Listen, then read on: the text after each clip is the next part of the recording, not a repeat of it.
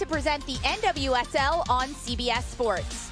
Today's match between the North Carolina Courage and Chicago Red Stars is brought to you by CarMax. Welcome into the afternoon edition of the NWSL from Cary, North Carolina. This is the first of four matches today across the league as Chicago Red Stars are on the road against the North Carolina Courage. Alongside former NWSL forward Jordan Angeli, I'm Lisa Carlin.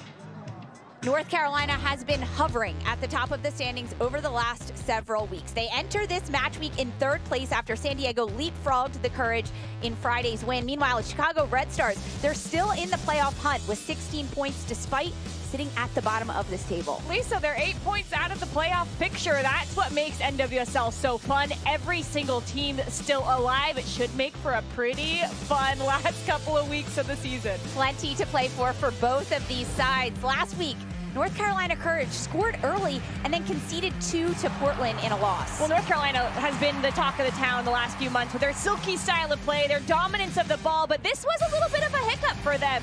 They go up a, a, player and a goal and yet still lose the game away to a very experienced Portland team. So can North Carolina learn from it? It's a young group. Sometimes you need those lessons and you're happy that it comes now. And you're also happy that it comes right before you get back Kerolin. And she comes off a really good World Cup for her. Some disappointment in not advancing out of the group stage with Brazil. But eight goals on the season for Kerolin. She is so crucial to the way that North Carolina wants to play because, yes, she can get at you in the channel, but she can also tuck inside and allow Emily Fox as an outside back to overlap. They're going to utilize her in her first game back. Meanwhile, on the other side for the Chicago Red Stars, they suffered a tough 5-0 loss to Orlando when the regular season returned last week. Uh, the Chicago team needs a little bit of a reset after a, a, very difficult match in Orlando, where I would just say that they were undisciplined in the way that they were defending. Way too stretched, too many moments where they were disconnected. So can they come back and get back to what they like to do? This is a cohesive unit defend as a group, and when they get the ball, take care of it. Movement off the ball has to be well, and they need to find their three midfielders in order to get points here in North Carolina. Well, three points are on the line tonight between North Carolina and Chicago. We'll be right back after this quick break with lineups and first kick. Ally presents the NWSL on CBS Sports.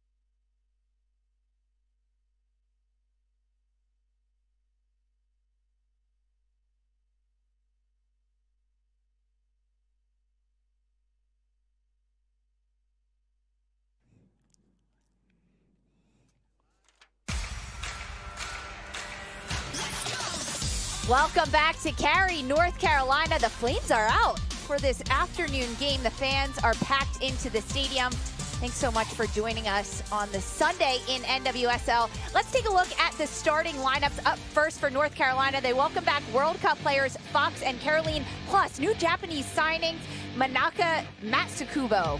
It'll be interesting to see what Makasubo, Makasubo can do in the midfield. But when you're talking about this North Carolina team, it's really about the system. Berkely and Kurz will look to build out Williams and Fox have the freedom at times to go forward, even tuck inside. And then going forward, Matsukubo, O'Sullivan will have the ability to connect with Boade, Lussi, and Kerolin. And watch out for Kerolin tucking inside in moments. And she'll have to face this Chicago Red Star squad who have their captain, Alyssa Naeher, in net as you move up the field. No Tierna Davidson, again, out with an ankle injury. So Wright and Sharples will play centrally for them. But really, the midfield here for Chicago has to step up. Bianchi, Roccaro, and Nagasato will look to connect the back line with the front line. Penelope, Penelope Hocking, in her rookie season, has been a really key piece for the Chicago Red Stars squad. Can she tuck inside at times and let Casey Krueger as an outside back get forward and join the attack? The teams are set here at WakeMed Soccer Park in Cary, North Carolina. A look at Kevin Broadley, our center official for this afternoon's game. And we are underway here in the NWSL. North Carolina in their Navy kits going right to left. Chicago in their all white. Thanks for joining us alongside Jordan Angeli. I'm Lisa Carlin. Three points on the line tonight between these two sides, or this afternoon, excuse me. It's the second meeting between these two sides. The first one coming in early June in which North Carolina got off to a hot start for this regular season, 5-0 in that game against Chicago. The Red Stars looking to even the playing field in this game today. Jordan, what are you expecting from both these sides today? It'll be interesting because it's a 2 p.m. game. We don't see that often in NWSL. It's hot in North Carolina. Both teams very adamant about doing this, keeping the ball. As it's turned over to Chicago, top of the box, Stevens to Hocking.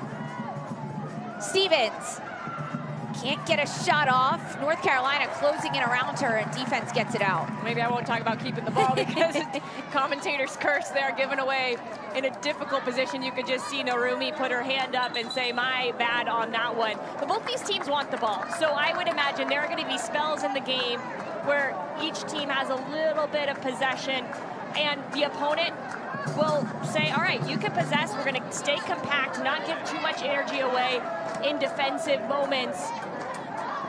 For North Carolina, they want the ball. For Chicago, they need to be better with the ball. If they're going to be a ball possession team, they have to keep the ball better when they are building out and not get themselves in situations like they were last weekend in Orlando, which cost them five goals. A tough game for Chicago coming off of that one. Just not able to find the back of the net and not able to keep Orlando out of it. And now here comes Kerolin for North Carolina. Kerolin, Lussi heading it back. No one there in the area. Fox. She's the left back, but she inverts a lot for North Carolina. Kerolin has Williams. Williams. Kerolin Driven low into the box. Chicago's Krueger will send it wide. Well, welcome back, Kerolin. She starts on actually the right side in this game, but you can see when she tuck in, tucks inside how good she can be at that final pass. Just misses Boade there by a couple of inches.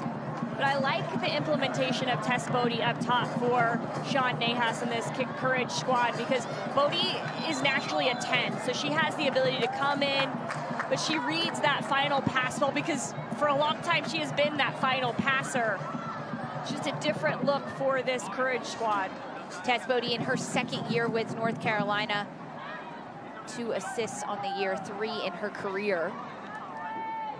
Still searching for that first goal for Boade of the year as O'Sullivan finds Boade.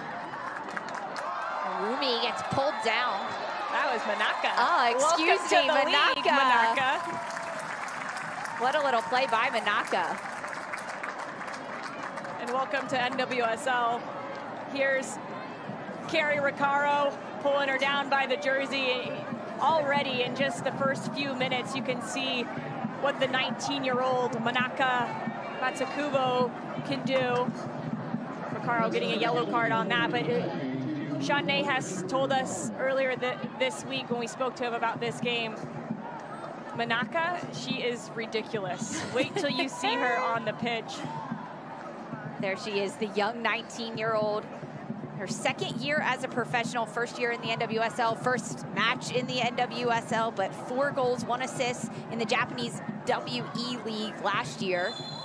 She gets a chance to show some of her magic. North Carolina set piece, Narumi into the box. It does go wide.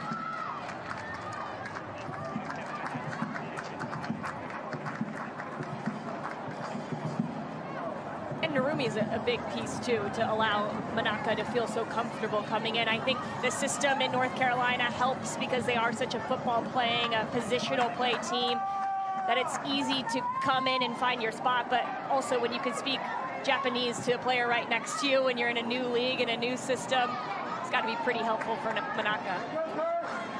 Kurz goes all the way back to Murphy. Pressure from Hocking. Williams. There we go,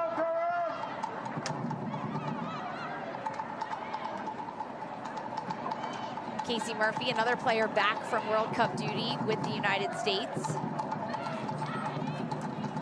Chicago can move quickly. Lots of possession from North Carolina. Building out of the back. Boade.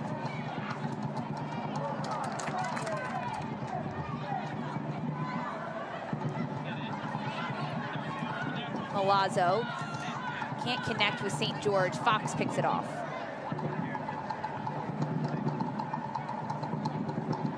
North Carolina, they lead the NWSL in their possession, just under 60%. Their passing accuracy, over 81%. Their successful passes. They do a lot of things right on this team. How much has that lent to North Carolina's success this season? A lot, but let's just rewind a little bit, Lisa, because at the beginning of the year, that was not the case. This team struggled, eh, eh, but they they knew that they had to go through some of those aches and pains of this type of play, of playing out of the back, of making some mistakes and getting punished from them, and they learned from it. It's a young squad. Sean Nahas has been very adamant about how they want to play. Everybody has bought into that style of play, and when it's clicking, it is a thing of beauty. And everybody has been talking about North Carolina. It's a reason why a lot of players want to come and play here, Manaka being one of them. But I think it took them a few months to really, or I would say two months to feel like they were comfortable in what they were doing.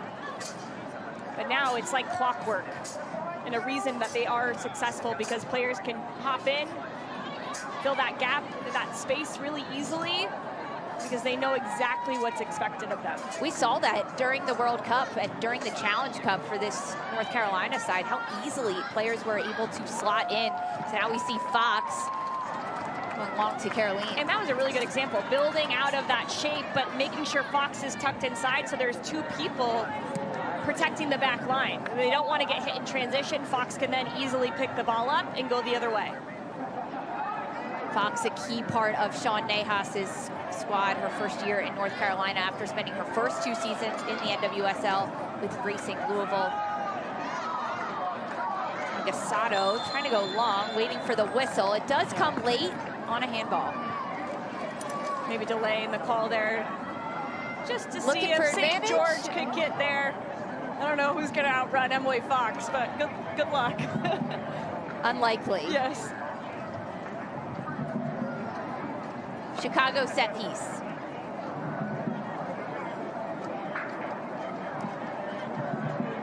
Krueger. Krueger into the box. Looks like it bounces off Stevens unexpectedly, and flag is up on St. George for offside. These are moments where you, you have to be ready and expected that the ball is going to come to you. If you're forward in the box like Stevens just was, the ball is dropping to you no matter what. There you could see her just get a little bit caught off guard. a little bit higher pressure than I was expecting from Chicago early in this match, and I think that's going to fluctuate. Lussi finds Boade just off the mark. Naeher off her line to collect. With the high line from Chicago, how does North Carolina get around that? I think that was a good run from Boade to try to stretch the back line, but just because the run happens doesn't mean you have to play it, and I think that's where North Carolina and Chicago going the opposite way. They've been a little, through nine minutes, both teams have been a little too frantic in the attacking third. A little bit more patience, I think, is going to help them try to unlock both of these back lines.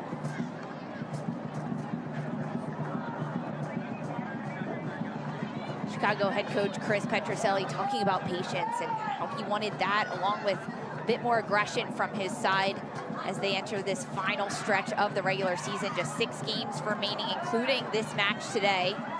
St. George trying to go centrally. She does get it back. Can't combine with Nagasato. North Carolina just calmly passes it out of pressure.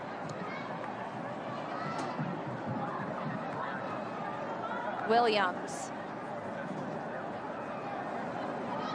Manaka. That was nice.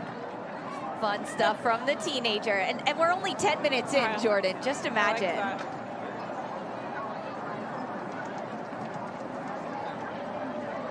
she looks confident as well.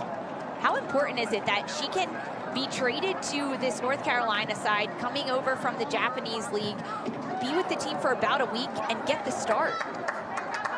It shows her confidence, and let's just watch her go. just go. She gives it to Lussi. Narumi.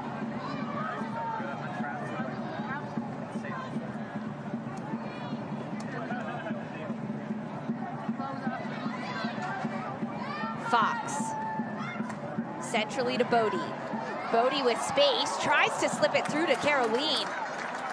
A foot in there from Sharples sends it out.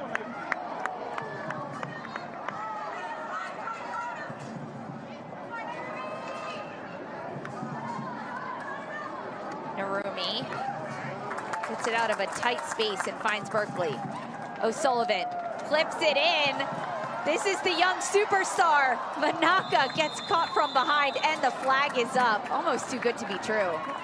Well, you talk about how you can come seamlessly into a team, and one of the things about Japan and the way the style that they play is you understand relationships. Right there, you could see Manaka. She she saw that there was an overload on this near side, so she just kept her run, tried to hold herself off offside. Doesn't quite get the timing right, but we saw the Japanese team in the World Cup put on a show. Their understanding of style of play, systems, what an opponent presents and then solving the issue, that knowledge allows you to come into a team and, and be pretty seamless in your transition. We're already seeing that here from Manaka. She played through the Japanese Federation up until the under 20s. I, I, would imagine at some point she might find her way into the full team just to 19 years old. Spent a lot of time with the U20s in Japan and she does slot into this seamlessly so far in her first 15 minutes or so of NWSL play. She doesn't look lost at all, which sometimes can happen with the physicality of this league.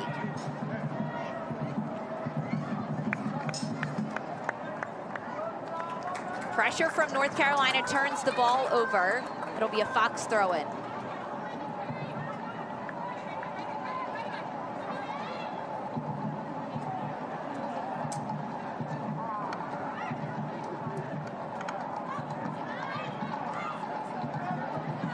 Caro. Caro gives it away, falls to Kerolin. Skip pass, looking for Boade. Boade gets a touch! And it finds the back of the net, nearly saved off the line. But Tess Boade with her first goal of the year. And what a golazo! Not often do you get your first goal of the year with a little scoop. There it is. I love this from North Carolina. It comes from the pressure from Tess Boade. She reads that she can go take the ball off of Roccaro.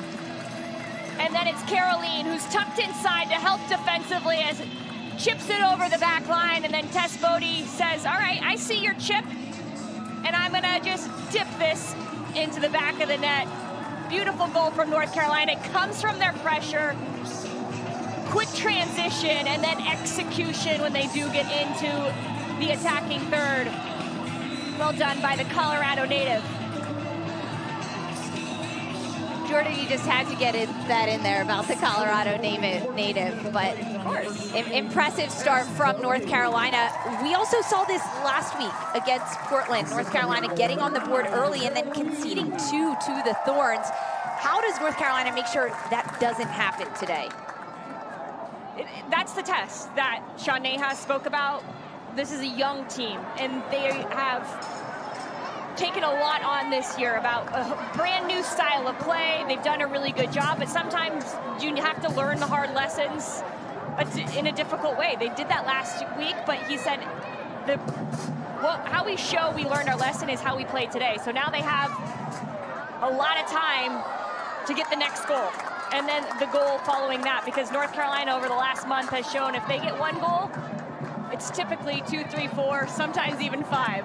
12 goals for North Carolina in their last four matches, only conceding four in that span as well.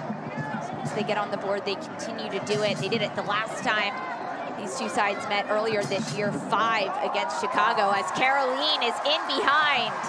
Kerolin, can she get inside of Wright? No, it's Naeher off her line. The sea's just parting for Kerolin. That's a very high line from Chicago. The highest it's been through 15 minutes. Maybe I've seen it all season. And Kerolin comes from the right side. Look how high that line is. They're th three yards off of the half field, and Kerolin just parts the season. It's shoulder to shoulder for me. I think it's a great recovery run from Arin Wright. And she, it needed to be great because otherwise this is in the back of the net, shoulder to shoulder. Ooh. Does that leg get in long, there? It's a long, it's a long touch from Kerolin, and I think she, she does that perfectly because then is Arin Wright actually playing the ball if the ball's that far away from her?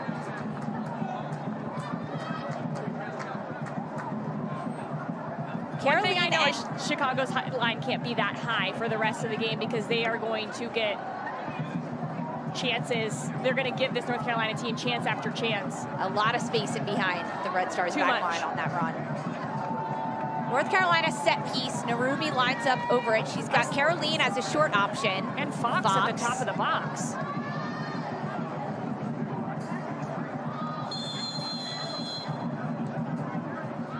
Narumi finds Caroline. Kerolin.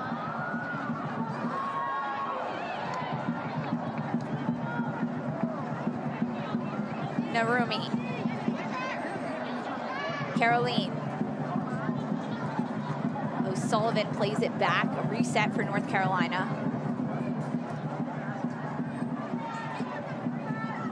Manaka to Fox. Fox with pressure on from St. George.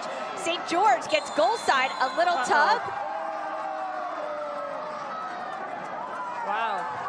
Dangerous play from Fox, and she will get carded. Second Prob- card of the match. Probably lucky to get a yellow card there. Yeah. Because I just said, not a lot of people outrun Fox. Well, here's St. George.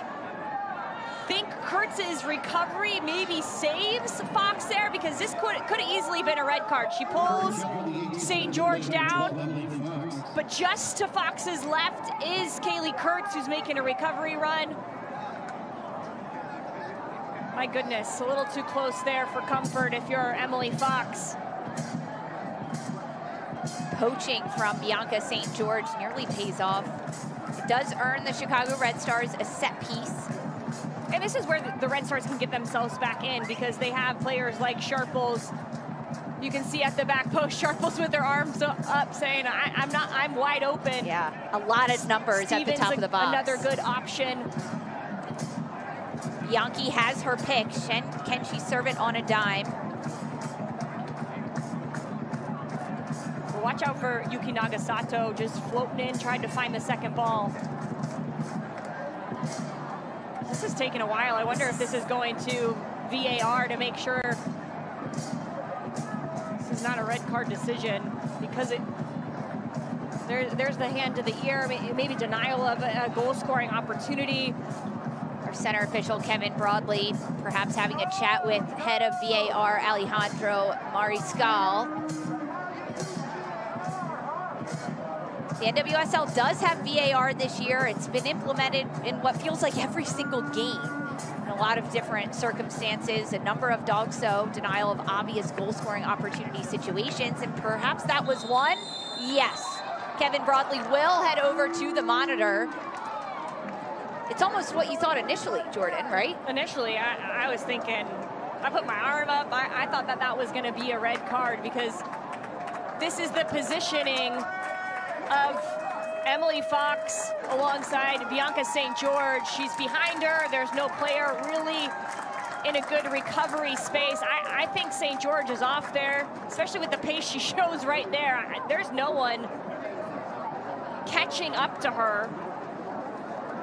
This could potentially be denial of obvious goal scoring opportunity. The four causes for this would be the number of defenders behind Fox at this point, the distance to goal, the distance of the ball, and the direction of play. Was St. George in a position to score? To me, yes. We'll see. I, I, I think that was this a is quick, be a, that was a quick look. Be a red card that was a quick look at the monitor. No yellow card, and now here is the red given to Emily Fox, denying of obvious goal-scoring opportunity.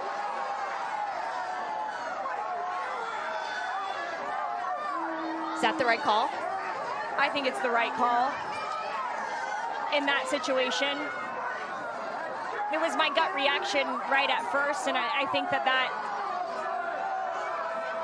it's it's a difficult moment for this North Carolina team because they're probably going to think that Kurz was in a good position, but with that second look, it's close. It's very close. So here's the mistouch by Fox. She sets it up for St. George, pulls her by the jersey, denies her the ability to continue her run, which was going straight on goal, and that's going to be the rest of the game for Emily Fox. Now, you just asked how does North Carolina hold a lead after the last two games. They've been up a goal, and they've lost both of those games. Now they're gonna have to do it without Fox. I would imagine Tyler Lussi just slides back into an outside back position as of now. We'll see what Sean Nahas does, if anything. But I think that that's a good enough look just to keep yourself in it potentially for to, until halftime yeah. if you can't give it, up a It's early, early in this game, under 20 minute mark when all of this went down. And now it'll be a Chicago free kick. Bianchi, back post, looking for an option, saved by Murphy. Oh my goodness. What an incredible save. Casey Murphy coming up big. It's a great ball across. It's Sharples who is wide open. Oh, it's actually Narumi. Gets her foot there. Watch Narumi's recovery run here sticks her foot out, pops it up and over. What a big time save there from Narumi. Chicago feeling confident. Corner kick, Red Stars. Krueger bounces around. North Carolina gets it out. After the red card to Fox, some arguing coming from the North Carolina bench, and the bench did receive a yellow. North Carolina playing down a player after they did the same thing to Portland last week in the opening 20 minutes of that game. After they scored a goal, they forced a red card. Kelli Hubly went out, and North Carolina was up a player, and they still conceded two. And we will get a tactical change from Sean Nahas. Interesting here as we see Pickett subbing onto it. Tess Boade will come out. She's the goal scorer for North Carolina. How does this change things, Jordan, for the Courage?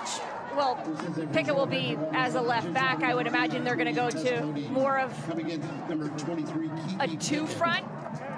Yeah, I'll give Play you a, few bit, minutes to a look, bit more to look at in. how they line up before I, but, but I throw I like, that at I like the decision because this means to me that that Sean Nahas is saying we can get more goals in this. We're going to stabilize our back line, but also keep Kerolin on, Manaka on, Tyler Lussi, who's been on a really good run of form in the regular season, three goals in the last four games for Lussi.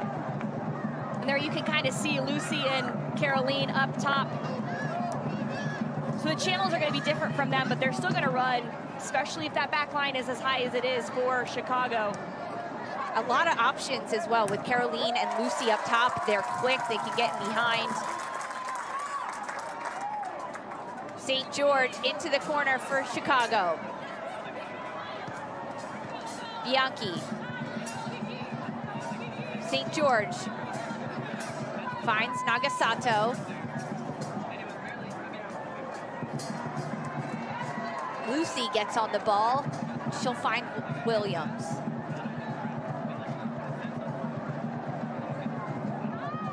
Even more important, I would say, for North Carolina to stick to what they know is the ball. They, yeah. they want the ball. They manipulate an opponent with the ball at their feet. So can they be a little bit better in possession? Not be afraid of these moments where they can go in transition. But if it's not on, keep it and make Chicago work. Again, it's a hot day. You're going to want the ball as much as possible. Kerolin warding off defenders. She'll draw a foul.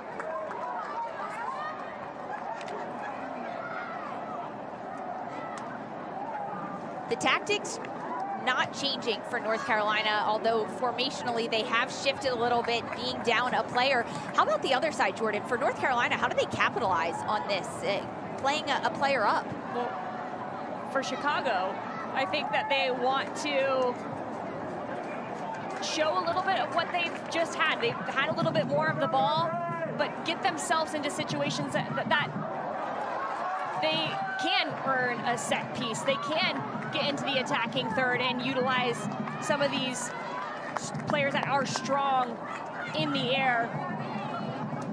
But this should be a confidence gain for Chicago. But they have to be better in these situations. As they progress into the attacking third, it's been a little bit sloppy for them. Take care of the ball, but also take care of the movement off the ball. It has to be a little bit sharper from Chicago.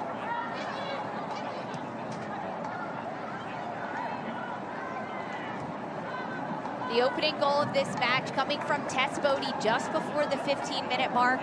And then soon after, Fox getting a red card in a very similar situation to that. It will be a yellow given to Denise O'Sullivan.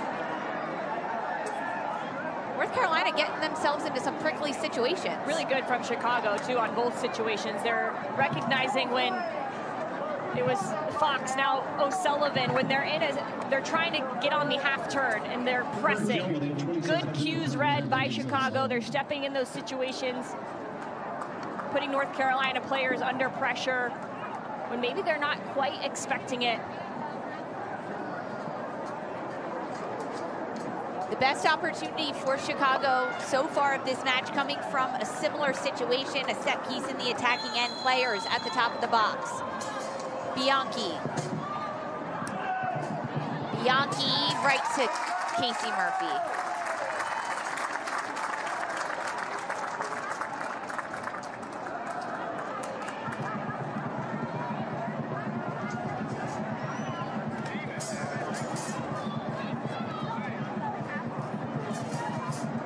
Can see how much higher Chicago has pushed up the field now, trying to engage in this high press, win the ball up, in their own attacking third and well done by Hocking to start that all.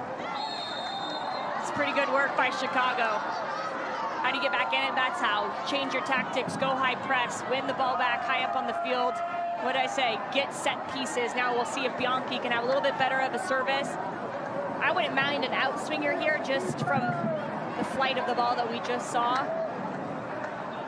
It was really easy for Murphy to grab on that set piece for Chicago. They had just moments to go.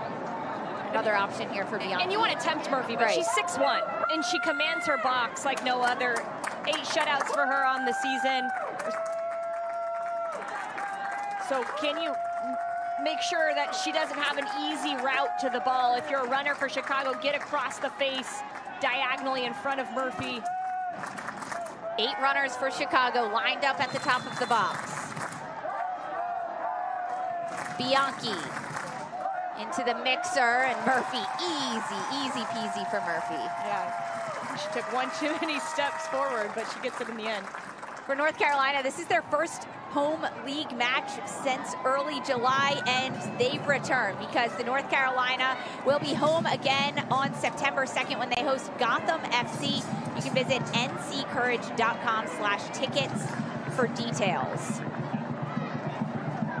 North Carolina has made it a bit of a fortress to play at home. They've got seven straight clean sheets, scoring 17 goals in that span when they play here in Cary, North Carolina. It's a tough place to come in and play, and Chicago's holding their own right now. If they can make it eight today, down a man for nearly the whole game, that would be the biggest feat of them all.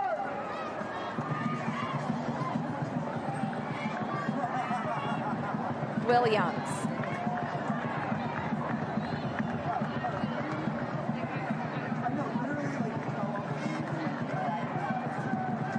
Berkely back to Kurz. Williams. Manaka. Slip pass to Lussi. Lussi off the post. It finds Narumi. Oh, close for North Carolina. But that all comes, Lisa, from just being who North Carolina are. They, they trust themselves. They build out of the right side. And then this is just a beautiful strike from Lussi. She's wishing it hit an inch closer to the inside of the bar because if it does, it's pinging in the other direction. Narumi tries to play Manaka there centrally, but if North Carolina is going to see themselves out of the game, this is how. They, they have to keep the ball. They have to be better in their movement off the ball. Building up with down a player. 90 degrees here in Cary, North Carolina, so we will get hydration breaks in this afternoon match. Again, a 2 o'clock kickoff. Thanks for joining us. Alongside Jordan Angeli, I'm Lisa Carlin. An early goal for North Carolina coming in the opening 15 minutes from Tess Boade before Emily Fox gets a yellow card, goes to VAR, turned into a red card, and now North Carolina playing down a player. However, they've got a point on the board. So taking a look at these live standings, North Carolina with three points jumps them ahead of San Diego and ahead of Portland. That's only if this score holds. There's yes. still three more matches to come today. Yeah, there's going to be well over 60 more minutes in this one because of the VAR call. You know this first half is going to have extended extra time. But North Carolina has put themselves in a really good place throughout this season. And, and a lot of it has to do with how they play. But if you get too comfortable on the ball, it can create some situations. When you want to keep the ball when it's hot outside, you sometimes can be a little bit slower. Well, this wasn't slow at all for North Carolina. They come out hot, get a goal, a double scoop there, one from Kerolin.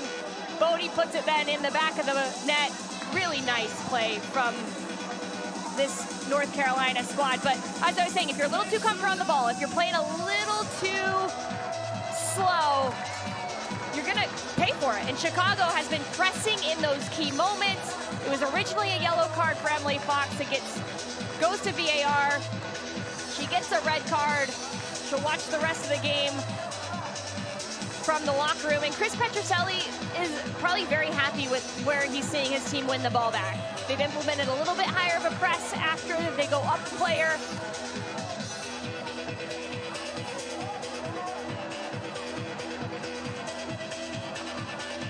conversation happening now here between Chicago goalkeeper Alyssa Naeher and our officials.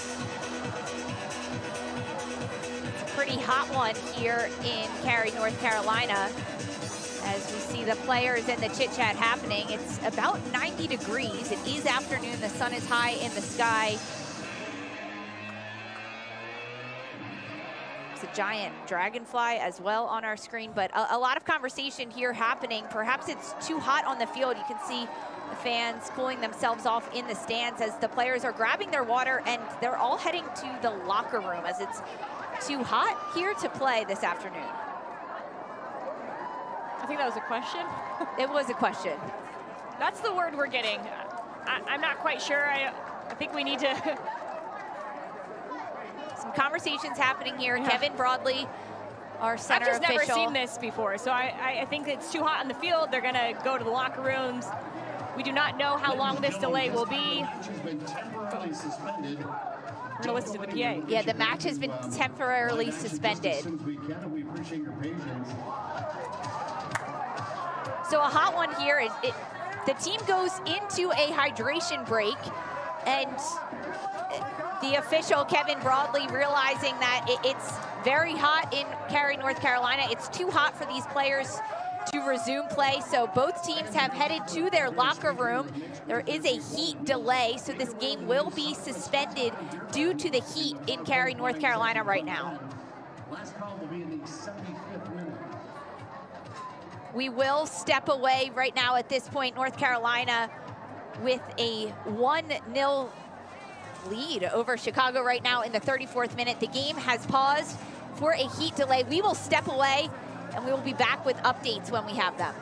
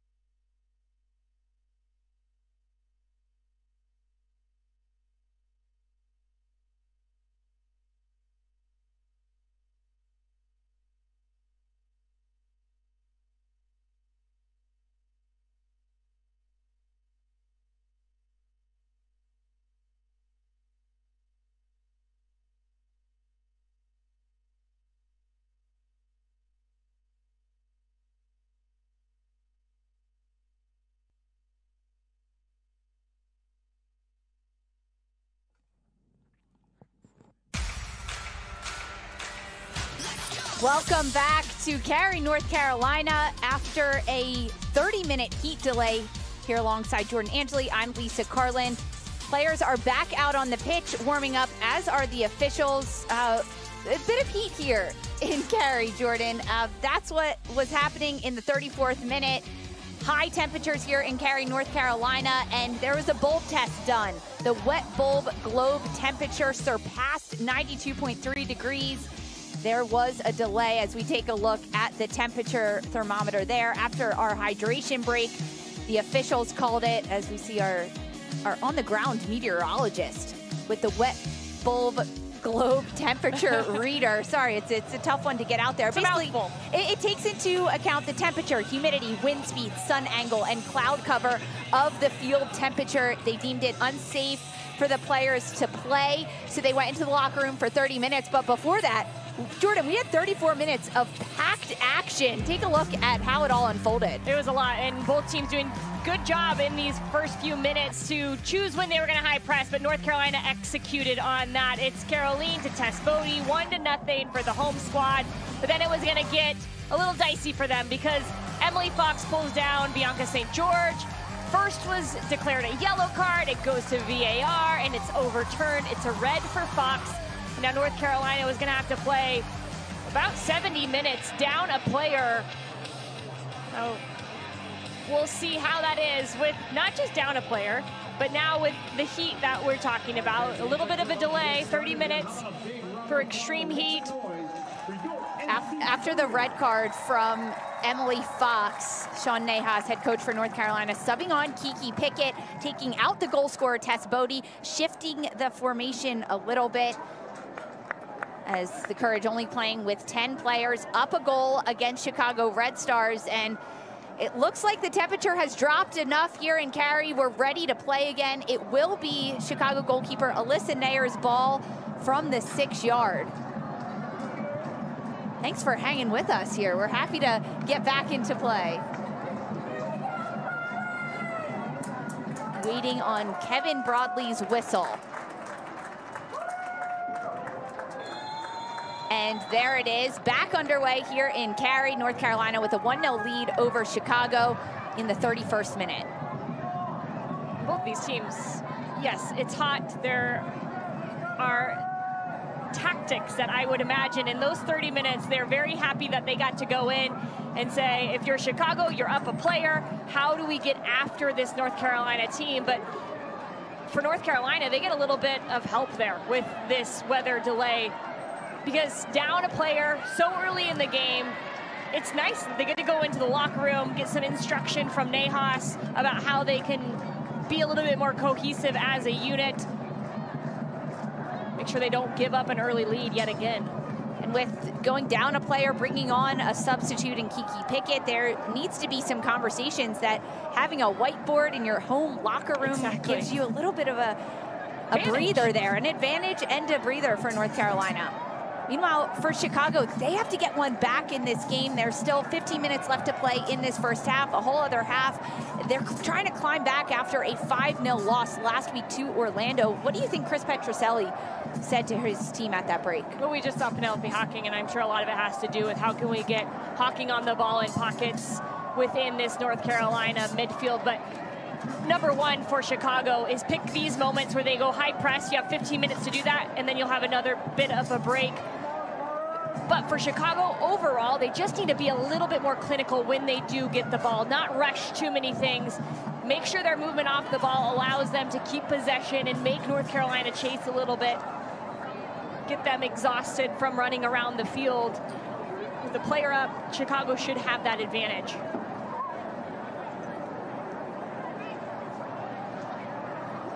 Throw in for Williams on the far side. Manaka tries to flick it on.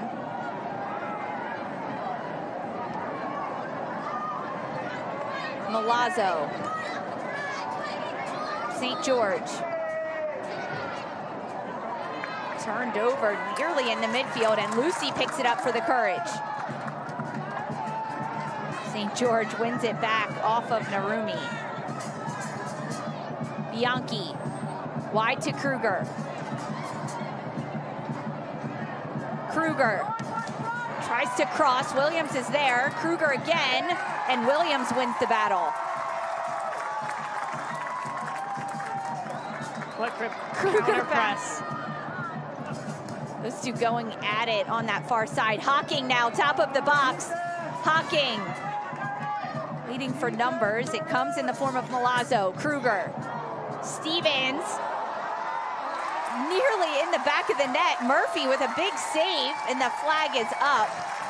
It looked like Nagasato had a, too much time there. That's good from Chicago, though. The one thing I would just say is as they progress the ball from the left to the right, there's no width over here, so they have to go back across. But this intricate passing is really good. Smart by this North Carolina defense, though, to step their line up, allow Nagasato to just run herself offside.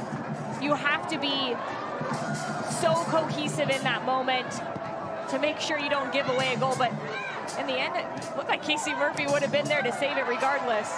She's done that a lot this year for North Carolina as Chicago on the attack again with Hocking.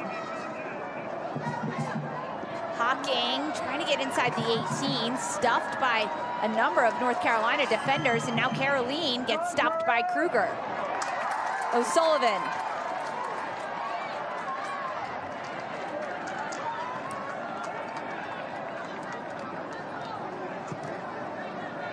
I'm surprised Murphy plays short here because this has been relentless pressure from Chicago. Can you get Lussi or Kerolin to just get to the back line, press the back line, soften it a little bit, and just go long? Because now here's Chicago winning the ball back yet again, and they're attacking third. St. George. St. George end line tries to cross, and Pickett will send it out. It'll be Chicago's second corner. Chicago has had their best opportunities coming from set pieces. Bianchi gives service on these set pieces for Chicago.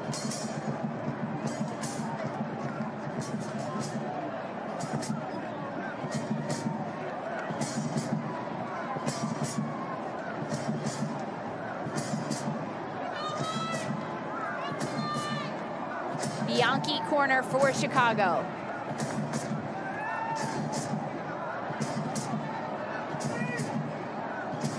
Hocking an option short. Bianchi sends it in. Murphy grabs it. What great extension there from Murphy. She needs to command her box. She does that so well. These are the moments. If I'm Williams, I'm looking long. They're just playing straight into the trap of Chicago.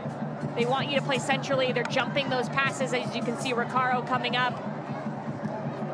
This is where if you're North Carolina, you have to balance that of saying we want to be brave playing out of the back, but right now the game stakes don't call for it. Chicago looks like they're playing up a player. They're utilizing the space really well to their advantage. You don't always see that with a team who is playing up a player.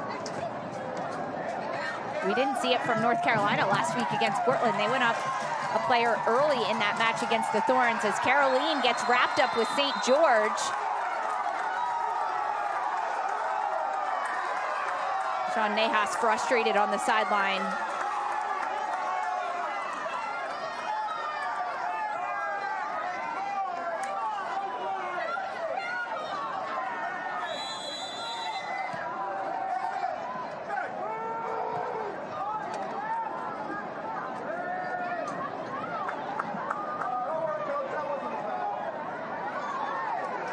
Hocking right, tries to find Now the other way, Narumi. Narumi moves quickly to Kerolin. Kerolin waiting for options, Narumi. Not a lot of numbers for North Carolina in support of the ball. It's turned over, Nagasato. And there won't be. I think there will be moments where it will be solo runs from Kerolin or Tyler Lussi on the far end. And even if there is a supporting player like we just saw Narumi, not all of these North Carolina players are going to go and try to step and press. They're going to try to get into halftime, I would imagine, with this one to nothing lead. Make sure they're compact defensively. Look how tight the lines are between the back, midfield, and forward line for North Carolina. That's what they want to see here. St. George finding Stevens. Bianchi switches. Far side to right. Krueger. One touch pass off the mark of Hocking. Murphy with pressure on. Pressure from Stevens gets the ball out of bounds. Now it would be Murphy's kick.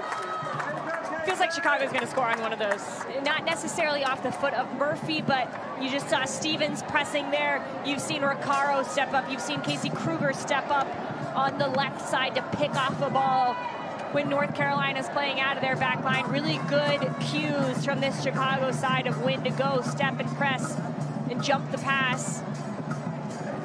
For North Carolina, they got to be careful. It seems like they're playing with fire a little bit in these situations.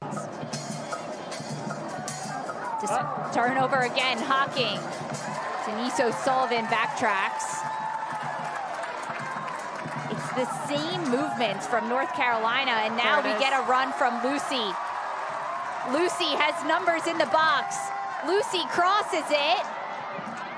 Wright clears. That's what you wanted to see, Jordan. That's exactly it, but now North Carolina have to be able to send maybe two, three players, but don't get too stretched because I think Chicago let, let off the gas a little bit there. They could have gone a quicker in transition back the other way. That's exactly what you need, though. No pressure on the ball. You have to have a willing runner to go behind the back line. Manaka. Especially with this high line. Look at Chicago's Yeah. not dropping at all. It's a, it's benefiting them because they can step up and win these types of passes, but when that gets broken down, they're so exposed and beyond. Lussi forward to Williams. Williams finds Manaka. Manaka tries back for Narumi. And St. George is there. Pickett.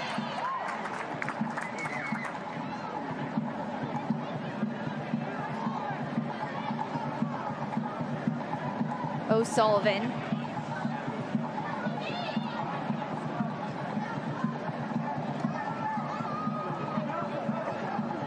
Pickett down the line to Kerolin. Kerolin, flag stays down. Kerolin inside. Kerolin near post. Naeher is there. Do you think Kerolin's happy to be playing back up on the front line again? For Brazil, she's playing a little bit deeper of a midfield role, but here she is just flirting with the back line. Big touch, cuts off Milazzo, brings it to her right foot, tries to sneak it in the near post. Fun to watch that Brazilian squad in the World Cup. I was bummed, Lisa, they didn't make it out of their group. They provided some moments of magic. A lot of that had to do with the players playing in NWSL right now, one of them being Kerolin. But I like her back there up on the front line for this North Carolina squad. Get a whistle from Kevin Broadley. The ball will be brought back to Kaleigh Kurz.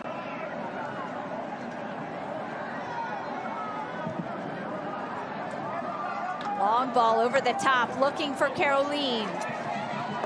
Kerolin puts pressure on Milazzo. It'll go back to Naeher.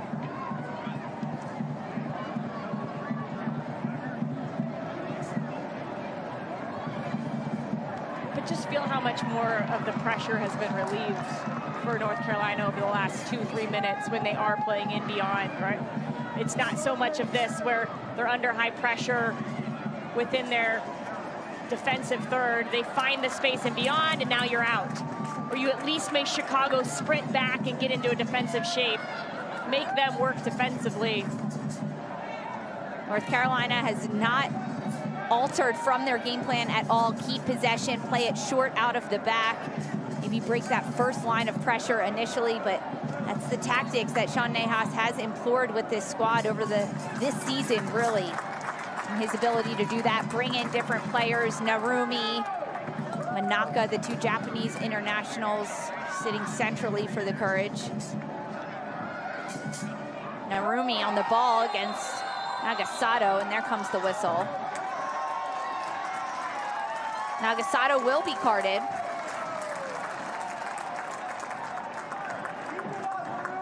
There's all smiles between those two before the game, talking to each other. There, Nagasato sweeps around trying to get the ball, takes out Narumi. Jordan, you know better than anyone. As soon as the whistle blows, you cross that white line, game faces are on. There are three points on the line today for both of these sides. I thought you were going to say you know better than anyone to get a yellow card. well, you do you know would, that. You would be right about that too, Lisa. Yeah, absolutely. And both these teams, for different reasons, want this victory here today. For North Carolina, puts them at the top of the table. For Chicago, it gets them even closer to that playoff line. They, are not that far off, Lisa. With the season that they've had and some of the difficult losses the Chicago squad has had, they're, they're eight points yeah. from the playoff line, which is quite remarkable. It shows how much variability there is in the league this year. Oh my goodness. Ball in behind. Manaka with a shot. Naeher grabs it. What a pass and run from Manaka. That 19-year-old looking very comfortable here in the NWSL, making an impact immediately in her first 44 minutes of league play. Jordan, when you look at Chicago and where they are in the standings and their point total right now, there are plenty of time. Five matches after this one left. There's 18 points potentially up for grabs mathematically. If Chicago wins out the next six matches, they're they're golden. They're looking at a, a postseason run. St. George in the box. Crosses out of the reach of Stevens. Krueger. Back post. Bianca St. George is late. And here's the run. The pass there from Berkely is perfect. Manaka coming from the midfield, which is also going to be helpful for North Carolina to try to stretch the back line when North when Chicago squeezes their back line to set really high. That midfield run is on, and Manaka times it perfectly. Going back to your point, Lisa, about Chicago and not being out of it quite yet, I think it's pretty unrealistic to say they're going to win the next five games and they're going to get all those points. Yeah. But I do think that they're going to feel confident that they can get some points. It's, they just have to do, today is a big game. They, they need to get three points now. They're up a player.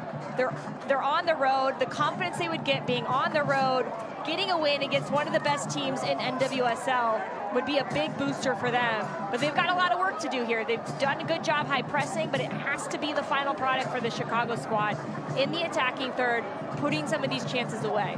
Chicago could do it today, get one before half, and they get an extra two minutes of stoppage time presented by Verizon at the end of this first half. But it does start today for this Chicago side, and of these next five matches after North Carolina, they play against three of their games are against top five teams in this league. You know, it's also close, and uh, anyone can win on any given day in the NWSL. Yeah. It's unpredictable. Uh, Especially when you just saw yeah. Orlando. Orlando has been slowly building themselves and what they how they want to play, and then they put five down last weekend. So any team is really things are about to get interesting. Let's just say. Stay tuned for the next NWSL, several weeks. Baby. Oh yeah. And we got Challenge Cup action in there as North Carolina will be featured in the Challenge Cup. They'll play against Kansas City on September 6th. That match happening in Kansas City before the final on September 9th. Murphy goes long. Manaka through to Kerolin. Kerolin. Kerolin. What? Slide tackle. Sharples gets the ball, no whistle. That's two now. Kerolin has felt like she's been a little short-handed. It looked like a clean tackle for me. There's not much complaint there from Kerolin, but she's been in two breakaways, and here's the, the touch here that puts her a little bit. She gets all ball there. My goodness, Sharples. A great sliding tackle for Sharples to keep it at 1-0 for North Carolina as we end this first half. The goal scorer, Tess Boade, coming in the opening 15 minutes before Fox gets a yellow turned red, and now North Carolina playing down a player. Jordan, a, a lot happening during that first half, plus a little heat stoppage time. Overall, your impressions for Chicago of this first half? They need to be a little bit better in their execution in the final third because they're getting chances, they're doing well high pressing. Can they sustain that for 45 more minutes? That's the big question. They need to get some goals here in the second half to get back into this one. That'll do it for the first half here in Cary, North Carolina. The Courage up 1-0 over Chicago. We've got more halftime to come. We'll return to this Ally NWSL broadcast right after this on Paramount Plus.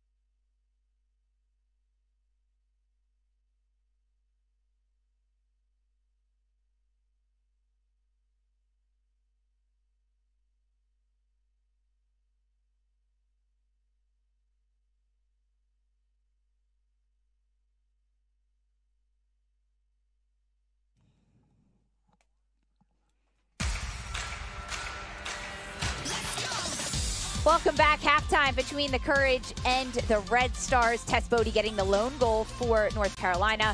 Alongside Jordan Angeli, I'm Lisa Carlin. This is the third match of the weekend, but the first of today. Let's take it back to last night in Houston, Kansas City against the Dash. An exciting matchup. Oh my goodness. This is why Michelle Alozie wears two different boots. So you can tell when she hits that so perfectly with the outside of her foot. That was with the, the right shoe, the black boot. And here, Lo LaBonta says, I see your outside of the foot. I'm going to go full volley here. Beautiful strike. And we've been waiting for the celebration from LaBonta. This is on the heels of Jane Campbell making so many saves in the first half, one to one there between the dash and the current. It's a good game. A really good game last night, and there's more action to come tonight in the NWSL. Three more matches. Jordan, which one pops out to you?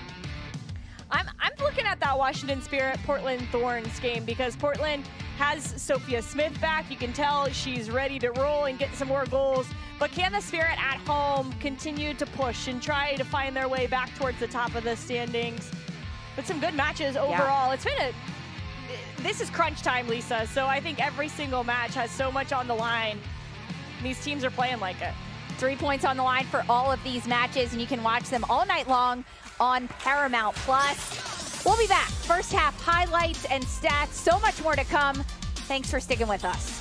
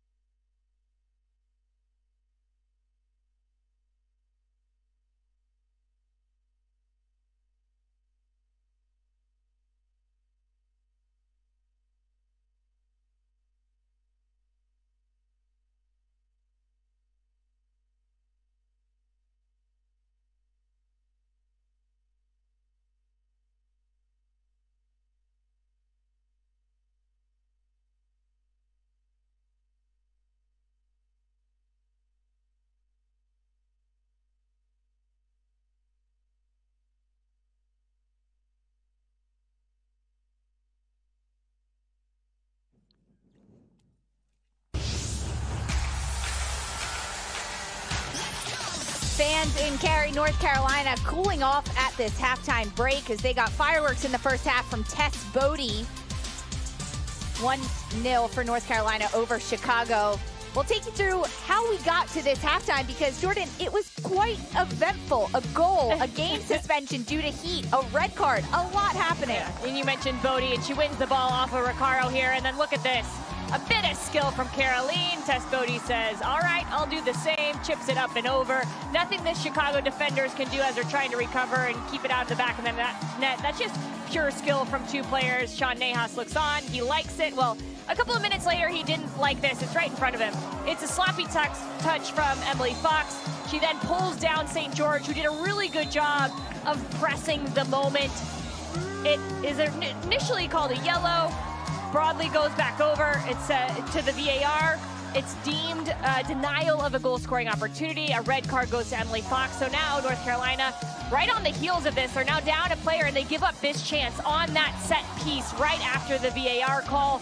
And it's Sharples who heads it across. Look at this save from Narumi. Kicks it up and over, narrowly missing, putting it in the back of her own net. Then a few minutes later, well, they took a test with the wet bulb. The temperature too high, all the things Lisa said in the first half, go to her for meteorology. we went to a 30 minute weather delay, and after that, it was high press from Chicago, but space in behind as well. And Kerolin was doing a really good job of fighting that space in behind. That's just one of three opportunities where she really could have put this to a higher score line for this Courage squad.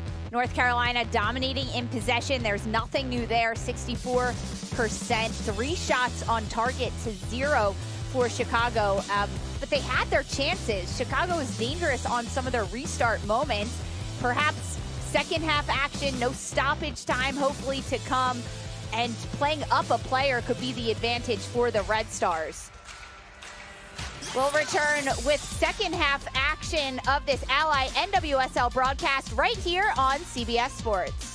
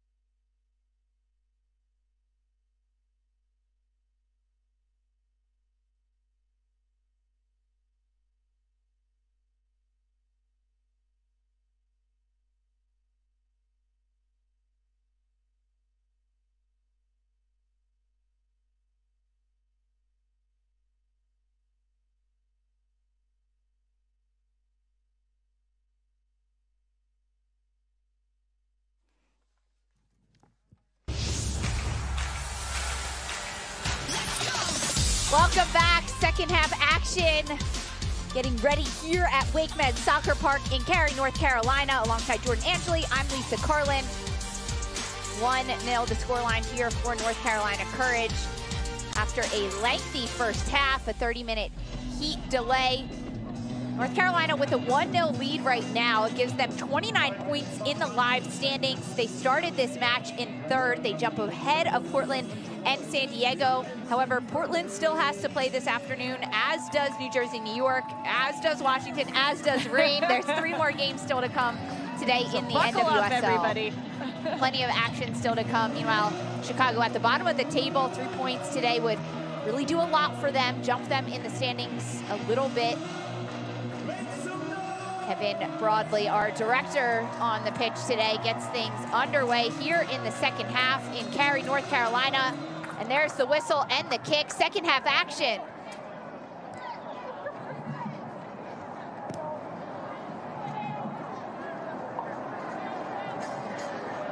Chicago with the ball in possession. They are playing up a player after Emily Fox for North Carolina received a red card around the 17th minute in the first half. Jordan, how does Chicago level things here in Cary?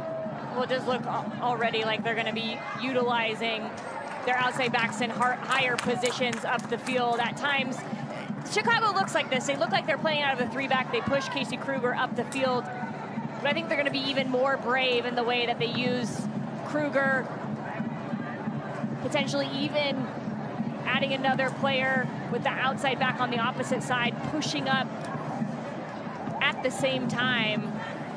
But for Chicago, it's all about execution in the final third because we saw the stats at halftime.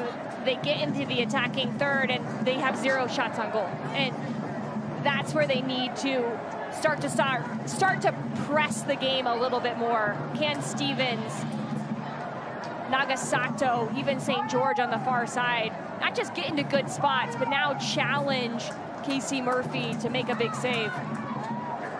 Bianchi spins, finds Krueger.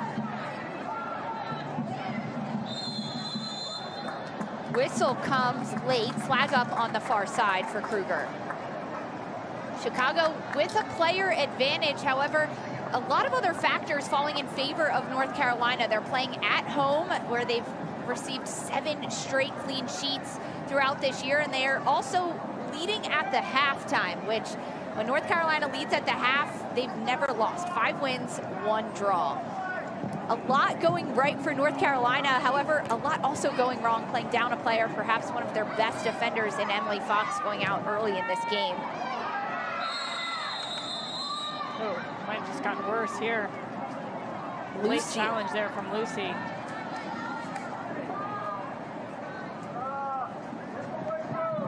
This is just it doesn't after, look like yeah any cards coming from Broadley there. Yeah, after the play, and here's Lussi. It's a shove in the back of Krueger. You can see after the shove, clips her foot a little bit. I think it's a good no yellow card, but definitely on a warning there is Tyler Lussi. This is where Chicago's been most dangerous. Bianchi.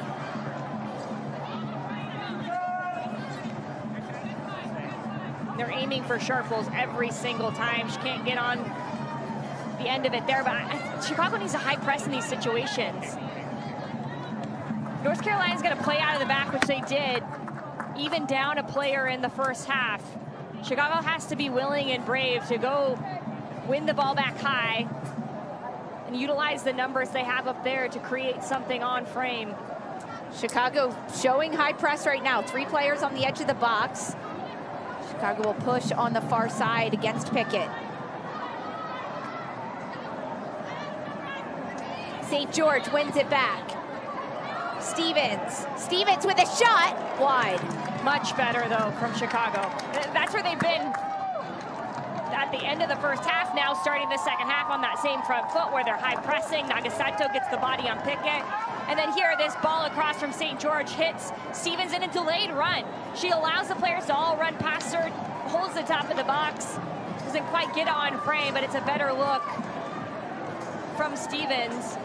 Ella Stevens, the top goal scorer for Chicago, four goals across all competitions. She's got one assist, created six chances. This Red Star team lead, leans on Stevens a lot in their attacking moments. Penelope Hocking takes some of the pressure off. She's got three goals this season as a rookie. St. George, wide to Nagasato. Bianchi. Nagasato can't control. Narumi will send it out and wide.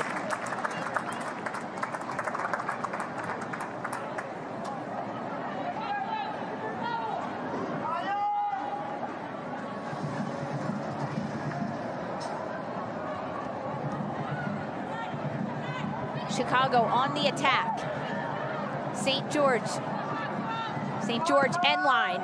Crosses it right into Pickett, and it'll be a Chicago corner kick. It's really smart movement from Nagasato because she goes into the pocket right behind Tyler Lussi. There's only two front runners now for this North Carolina team, so defensively there's a big gap behind one of those front runners. Nagasato takes advantage of it. Short corner for Chicago. Now it's into the box. PC Murphy getting her hands on anything that has been serviced into the 18. And that type of movement we were talking about before, the quick corner from Nagasato is going to be key. She's such an intelligent player. The Chicago squad relies on her because of that. She has to pick up some of this slack here in the last 40 minutes to help them get a goal. Kerolin, 1v1 with Wright. Early cross. Narumi trying to chip Naeher.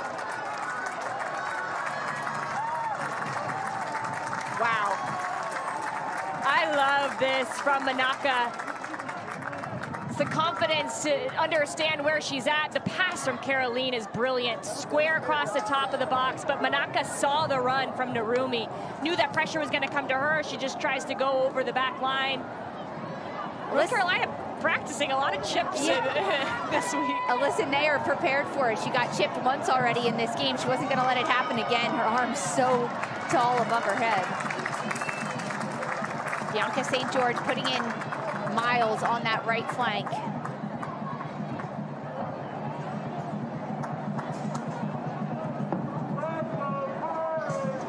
The thing that Chicago can all, always do is bring another attacker on as well, another center forward. They could bring Cook on alongside Stevens to add somebody else there. Go to a three back. Use St. George as a wing back, Krueger as a wing back, and, and press a little bit more.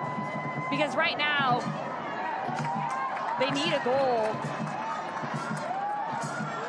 Manaka nearly. But it's those type of situations that are probably preventing them from switching to a three-back. Would they, would they played that this year, they're comfortable in either formation. Nagasato. Wide to St. George. Chicago has numbers in the box. St. George back to Bianchi. Bianchi chip on from Stevens. Just nearly misses the crossbar. The difference between the first half for Chicago and this second half already is their decision making in the final third. They're getting into a really good spot, but when St. George gets here, this is the absolute correct ball. Back to Bianchi, she's wide open, then you pick out the pass that you want. She tries to go near post there for Stevens to just flick it in. Bianchi has really grown herself into this season for Chicago. Really the sole international player coming in for the Red Stars, whose midfield was completely depleted. Free agents leaving. And Colaprico, DiBernardo, Gautrat, all in the offseason going to different clubs. Bianchi comes in, but to get acclimated to the league. It's taken a little bit of time, but I, I do, truly do believe she's found her footing and has looked really good for Chicago over the last couple of months. Manaka tries to play Kerolin. Wright is there to pick it off. It almost looks like Chicago's playing in, in a three, back. I think they are. They like to build out of a three, though, a lot. So it does push Krueger forward. On the last opportunity Red Stars had, Krueger was in the box. She was there on the cross from St. George. Yeah, but she'll do that before. She'll do that anytime. That's what makes Casey Krueger so special as the left back six in white for Chicago. But I think that is the move. And I, when they, they do build out of that, Hocking and Nagasato can play underneath Stevens. They can then get the layoff ball if it goes into the target forward, while one then presses in beyond. Chicago has had trouble scoring all year. 19 goals for in this regular season. They are at the bottom of the table. Five wins, 10 losses, one draw throughout this regular season really defensively, it's, it's where they struggled the most with 38 goals against. That is 12 goals higher than the next highest goals against for any club in the NWSL. It's been a big breaking point for the Chicago Red Stars side. And that's what I was going to say. It's the 19 goals, yeah, but North Carolina only has now 23 with the, the goal today. So it's not like they're that much higher. They just don't concede as many as Chicago do. St. George into the area. Cleared out by North Carolina. Lussi is there to collect, and she draws the foul. A lot of those goals that Chicago has conceded is not just because they've rebuilt their entire midfield. They have Casey Krueger and Tierna Davidson, who are coming off major life moments. Davidson, who is off of ACL. Kayla Sharples, who is off of ACL. Casey Krueger coming back off of maternity leave. So there were some kinks that had to be worked out of getting back into gameplay. That left them exposed a lot, especially at the beginning of season. There's been some gaps in this back line. A lot of injuries plaguing this Chicago side. If whether it's some of the storm getting a pair of really important wins in early July, keeping the Chicago's playoff dreams in striking distance. Now as they're on the road here in Cary, it's the middle of a three-game road stretch. They were in Orlando, suffered a 5-0 defeat. After this, they'll head to Washington. That's uh, the storm that Chicago has to weather to finish out this regular season. It starts today. They've got second half action to get one back against North Carolina, but two goals in, this type of condition away in a stadium where North Carolina has built a fortress.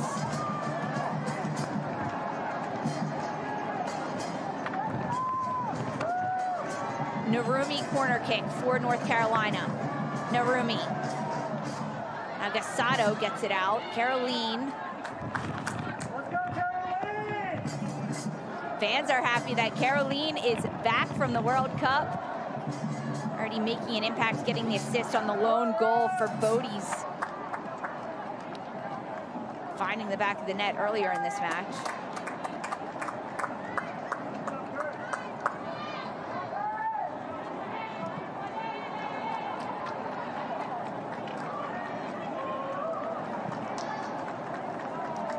Chicago keeping possession, building out of the back. Sharples finds St. George. Nagasato. Back to St. George. Can she get there? Yes. But the cross is no good. She had time. Take a touch. Pick out the right pass. You can see the disappointment from St. George. How, uh, th this is why I was calling on Nagasato to get the ball a little bit more the pace that she plays St. George into the back line is perfection. When Yuki Nagasato gets on the ball, the Chicago team finds their way into the attacking third with ease.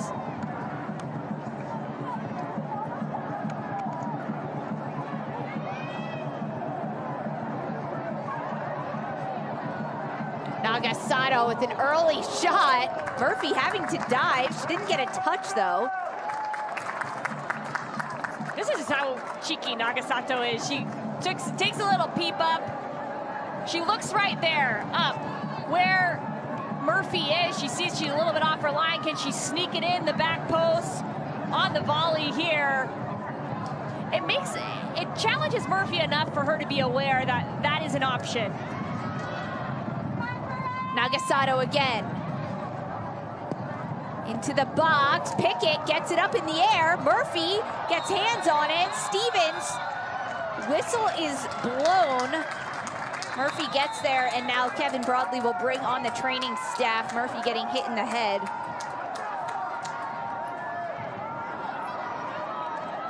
This is interesting because Murphy sends it straight up in the air. I think Stevens was just going up for it. Murphy didn't get it cleanly, and so it put her in a precarious position where then she's kind of scrambling, trying to get to the next ball. If it's called for just a head injury, I would get it, but this doesn't look like a foul to me, at least not at first. Maybe the arm of Stevens there hits Murphy in the face. That's all I can see because Stevens has a clear run to the ball here. Yeah, I think it's that arm. It must have been the contact there to the face of Murphy. Stevens, Stevens doesn't like it, but it's a good call in the end by the referee. It's kind of hard to catch the ball when you, your eyes are blocked by somebody else's hand. Stevens immediately outstretching that one, putting it in Murphy's face. But it felt soft at first. Yeah. Without that slow-mo replay, without the angle that we saw. But in the end, good call by the referee. Good eyes by Broadley. Murphy back on her feet. A little rest for both sides here in the heat during the second half. A look at Sean Nahas as North Carolina chats with some of the players. And it's interesting, it's Lussi, uh, Manaka, and Kerolin there that they're talking to, which have really been the ones that have been impacted the most in their defensive responsibilities with down a player. So how do those three manage mostly as Chicago's building up, keeping it to one side because if they allow the ball to get switched back and forth by the Chicago back line, that's just a lot of running for the entire team. Chicago, they will return home for their next home match September 17th against Angel City. You can visit chicagoredstars.com slash tickets. Get yours today. Chance to see Chicago at home towards the end of this regular season as they make a push for the playoffs. Here comes North Carolina, Kerolin. Kerolin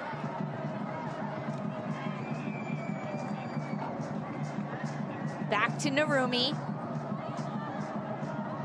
Narumi looking for options. She'll go all the way back to Kurz. And now Williams.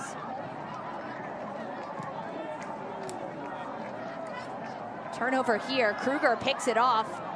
Bianchi. Switch of the field to Nagasato. St. George. St. George. Early cross for Stevens. Murphy gets there near post. And it comes off the heels of the, the first time we've seen North Carolina this half have a little bit of possession. It's too soft of a pass, and then it's quickly out by Chicago. They switch the point of attack, and here they go. Great eyes by St. George to find Stevens. Look at Murphy move across, parries it away from her near post. Needs to be better in these moments. It did pop up a little bit. Hard for Stevens to get a clean look on that.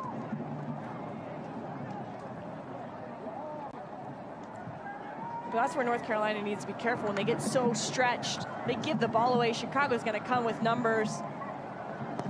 Bianchi into the box. Shot! It finds the back of the net. Tatumn Milazzo with the goal, her first of the year, and it's level here in Cary.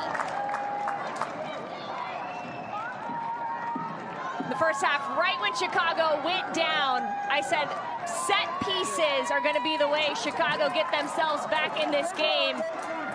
It's off a really good spell of play. Here's Bianchi, plays it in to the six. Nobody there. Milazzo with an easy header, flicking it into the back of the net. Great direction, quick movement over the top of Murphy. Chicago's back in this one. Big smiles from Tatumn Milazzo. Chicago knocking on the door a number of times throughout this match. It took until the 63rd minute and they do it on a set piece, their fourth corner kick of the match. Bianchi with really good service into the box, and now things are level. The standings change at this point. Chicago now splitting points with North Carolina as Lussi puts pressure on. How much of a lift can this give Chicago in these moments? Huge. You now have a little less than 30 minutes to get another goal. They're going to feel confident about how they've come out in this second half. They're going to feel a little bit more rested. Williams into the back of Roccaro. Roccaro didn't like that. Williams got a nice little look from Roccaro on the back of that challenge.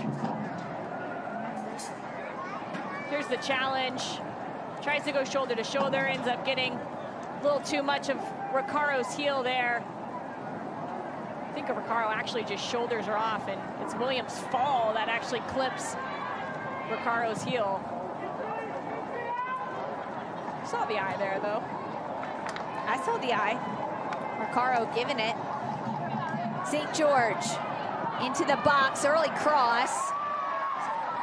Tries to get there again. Berkely gets it out.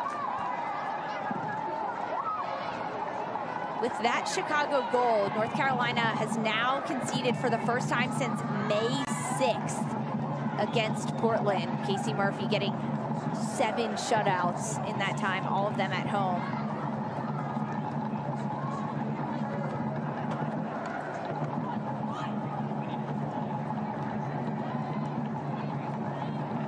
I think it's easy for everybody to talk about North Carolina, what they've done production-wise on the attacking side of things, but that just speaks to when the system is implemented properly, how good they are defensively as well. Even in this game, up a player for,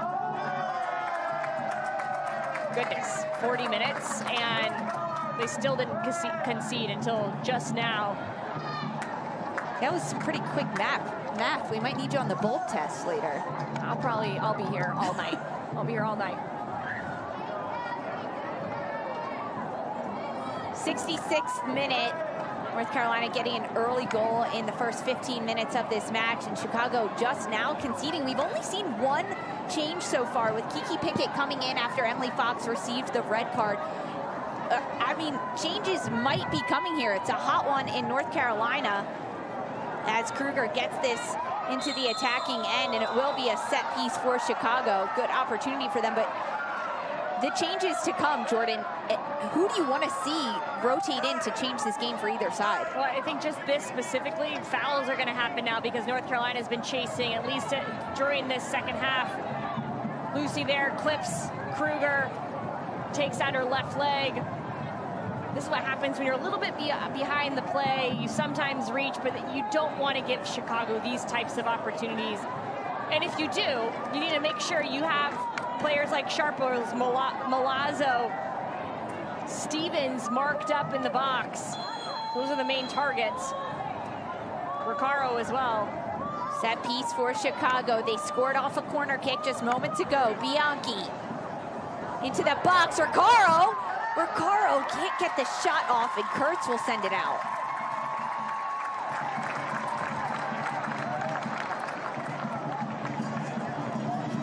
With Chicago's goal, North Carolina falls one spot behind Portland. A win tonight would push the Courage into first place for the time being.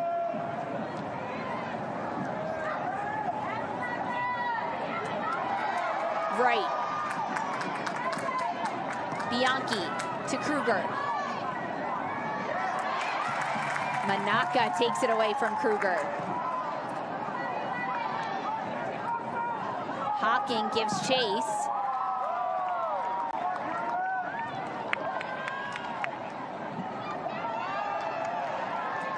Kerolin can't control. Neither team gaining possession. Now here's Chicago. Bianchi through to St. George. Murphy off her line. Bianchi, St. George gets a touch.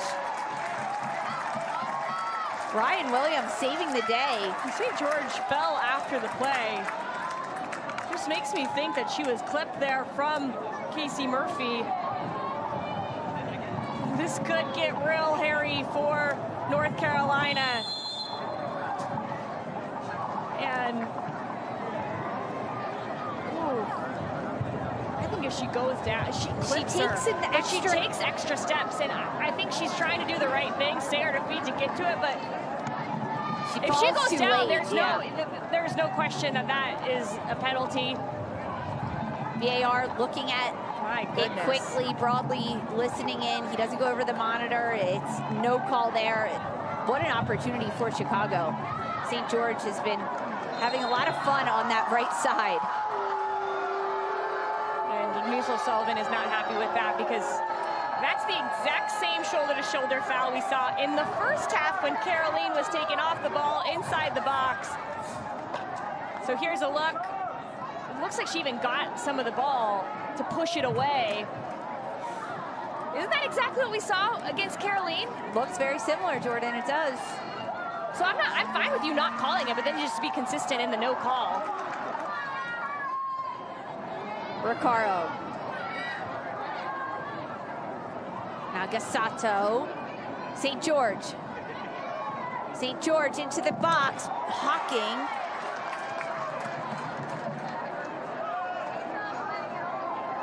Roccaro to Nagasato.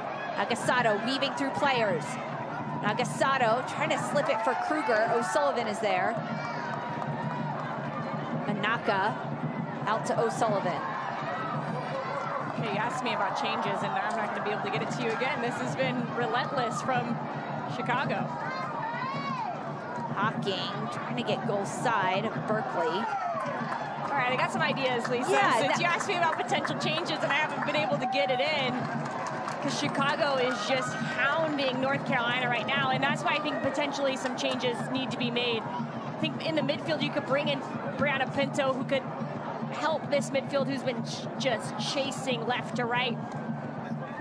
Potentially, too, up front, Brittany Ratcliffe could give you some energy, just because you are chasing.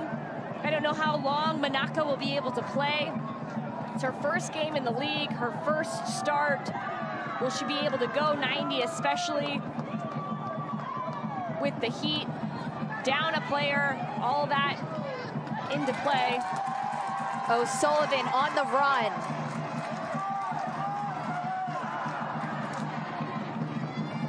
By Arin Wright. Thanks to our producer, Jordan Strauss, throwing up some great numbers there.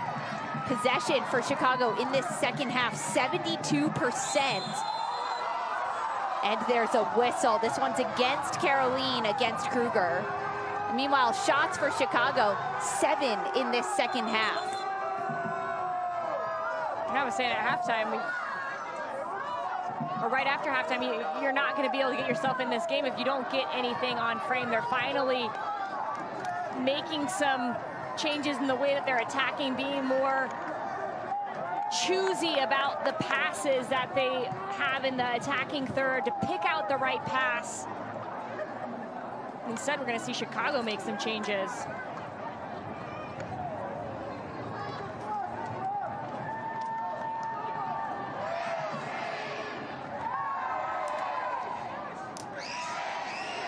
Coming for Chicago now. As we get Samantha Fisher into the match. Ally Schlegel and Cheyna Matthews, Jamaican international, also back from the World Cup, returning for the Red Stars. Some fresh legs here for Chris Petrucelli in that front line. You talked about North Carolina changes. How do you like these changes for Chicago? I think it's good. You bring in Matthews, who has a lot of ability to get into these wide channels, go 1v1 at players. But what I really like is Ally Schlegel because the, her knowledge of playing with Penelope Hocking, what those two do together. Schlegel has consistently come on as a substitute for the Chicago Red Stars squad and changed the game. She's intelligent in her runs. She is very good on the ball, picking the right moment, when to hold it up, when to lay the ball off. You see her right away with a thumbs up, just getting herself acclimated to what maybe her defenders are seeing that's different from her up top, but I, I like this sub from Petrucelli. Ally Schlegel, two goals on the year, plus an assist. She's only played in eight games, this one being her ninth, but she does bring a spark to the front line for the Red Stars.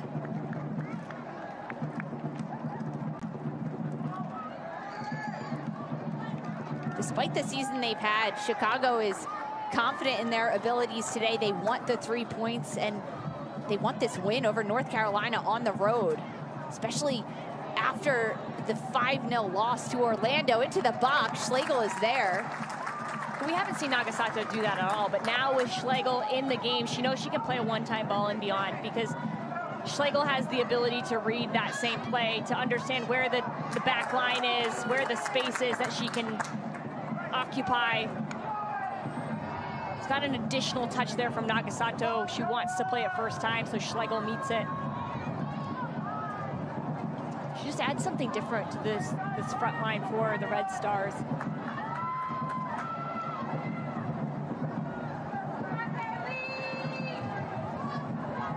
Right. Pressure from Kerolin. Kerolin gets a touch of it. Lussi sends it out. It'll be a Krueger throw-in on the near side.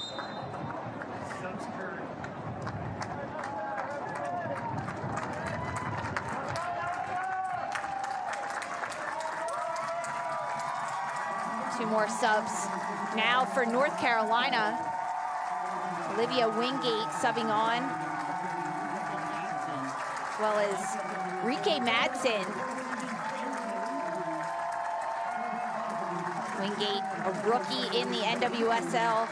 Meanwhile, Madsen, the Danish international, joining North Carolina this year as well. Two first-year players in the in the league.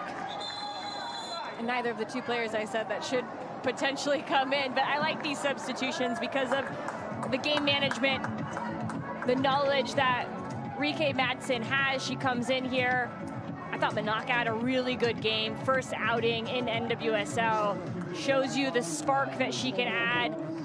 Then you bring in Olivia Wingate, who showed at Notre Dame how good she can be in transition moments. There have been moments here for North Carolina to add another goal she's going to give you the speed and beyond to if you just get one touch, can you play it in beyond this back line and let her run?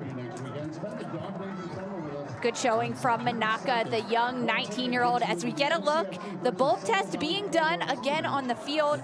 Uh, a lot of science and math in there. They'll be calling up Jordan to, to punch in the digits and do the math any, any moment now as our officials cool off. Again, the wet bulb globe temperature, temperature, humidity, the speed, the angle of the sun. It has to be under 92.3 degrees at this hydration break. It's a, it's a very serious matter yeah. to take this wet bulb test. Fourth official doing a good job making sure everything's all right. Seems to be everything's playing. okay. While we have a minute as we end the near of this end this regular season. There's not many match days left because the championship is around the corner. You can join us in prime time on Saturday, November 11th at 8 p.m. Eastern for the Ally 2023 NWSL Championship on CBS. If you want to attend the match at Snapdragon Stadium, it's a great facility in San Diego. Purchase your tickets now at Ticketmaster.com. Again, the Ally 2023 NWSL Championship in prime time on CBS. Both of these teams, Chicago and North Carolina, have an opportunity to play in that championship. Nothing is out of reach at this point in the season. Still plenty left to play for, but every single game matters. Kerolin. Here comes Wingate. Wingate to her right. Kerolin with space. She'll chip it herself. Back post looking for Madsen. The fresh legs from Wingate and Madsen immediately into the attacking end. Kerolin wanted two assists with two chip passes. Hey, why not? If anyone can do it, yeah. Kerolin can. It shows you the respect, too, opposing teams have for Kerolin when she's on the dribble. They just keep backing up, making sure that if she is on the dribble. They're not getting beat 1v1. They allow more players to come back in, and in the end, it's enough to just clear the space, get the ball out. You saw why you bring in Wingate, why you bring in Madsen. Extra bit of speed there. These last 12 minutes is going to be important. And I saw Tyler Lussi doing this as well before she was subbed out, but Wingate playing deeper. Usually that winger for North Carolina plays higher, but now with Krueger playing so high up in the field, it makes Olivia Wingate have to make these types of runs if she is going to get into the attack. Because she is respecting the run of Krueger on the other end. But Kerolin showing a little skill check. Rikke Madsen hands into the back of Krueger. The whistle is blown. It'll be a Chicago set piece. Bianchi goes short and quick. Chicago still looking for that second goal. They got one back after going down early in the first 15 minutes on a Tess Boade goal for North Carolina. On a corner kick, Tatumn Milazzo equalizes for the Red Stars in the 63rd minute. Now it's been a lot of Chicago attack as they come again. Matthews. Matthews against Pickett, Chicago corner kick. Love that from Matthews. Right away. First time she gets on the ball and she goes straight at Kiki Pickett. Draws a corner kick.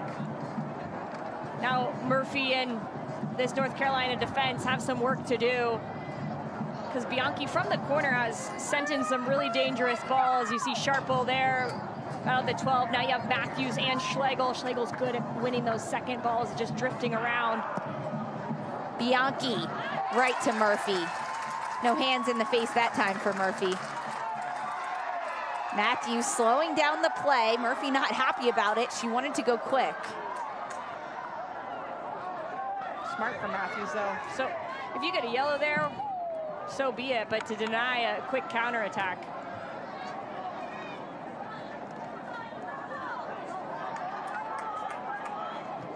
Sharples back to Naeher.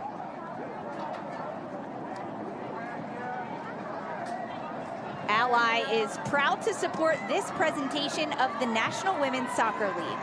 Ally, do it right.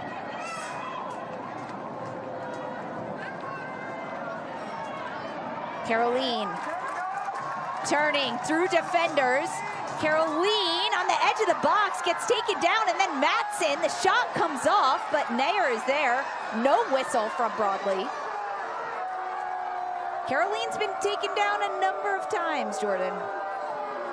That one right on the edge of the box. I think Chicago is lucky to not give away a free kick late in the game to the right foot of Kerolin. It's not a reviewable play, but we're going to review it anyways from our standpoint. Narumi does a really good job of winning the ball back. And then this touch from Kerolin sets her up.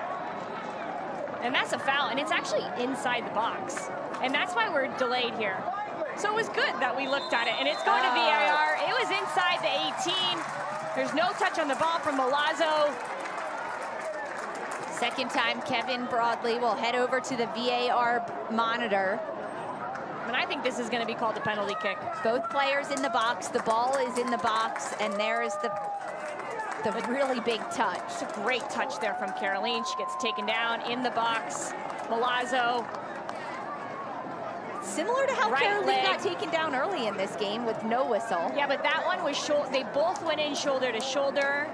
I think that the touch came in the direction that the players were both going in. This one, Milazzo is clearly coming across Kerolin, not going with her in the same direction. This is more of a penalty to me, clear cut, than the first one. The first one looked like a good challenge. This, it we'll must see. be clear and obvious, and Broadley has a decision, penalty kick. This changes things for North Carolina.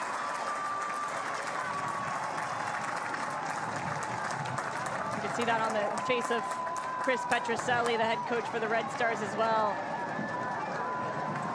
And that's the respect I, I, was talking about. Kerolin draws from opposing defenders. If you give her too much space, she can chop you up with a pass, but if you get too close, she can take a touch at the last moment. She draws a penalty here and looks as if she's gonna be the one to step up and take it as well. Kerolin with a chance to double the lead for North Carolina. She's two for two from the spot. It's Kerolin against Naeher.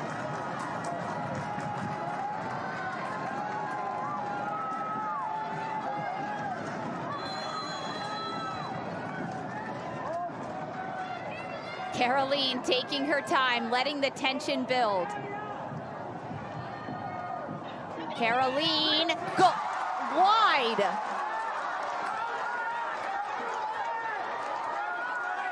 Wow, she can't believe it. Kerolin's first miss from the spot. Sometimes it's risky to let the player that drew the foul step up and take it, and there her foot just opens up last minute. The stutter, tries to place it in the far post. North Carolina complaining that Penelope Hocking was inside the box when the kick was played. Really only comes into effect if there's another play on the ball, but an opportunity for North Carolina to change the course of this game with a penalty kick opportunity. Naeher wow. dives the wrong way. Kerolin goes wide. Chicago now has a chance to take a lead. They've got five minutes plus some stoppage time to come in this second half. Moments are there as Matthews in behind for Chicago. Matthews right into Berkely. Narumi. Kerolin. Sharples have had a couple of slide tackles that have been just to perfection, that being one of them there. Gets enough of the ball to slow down Kerolin.